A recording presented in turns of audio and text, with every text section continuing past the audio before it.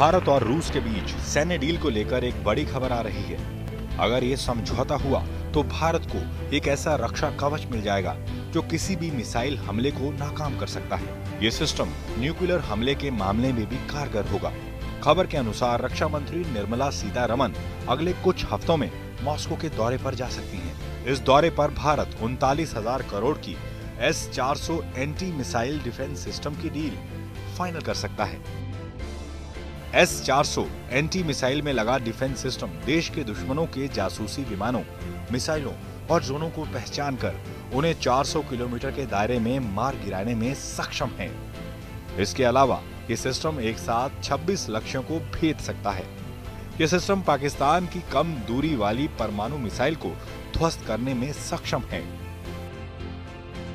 जानकारी के अनुसार रूस से ये डील 2018-19 में फाइनल की जा सकती है।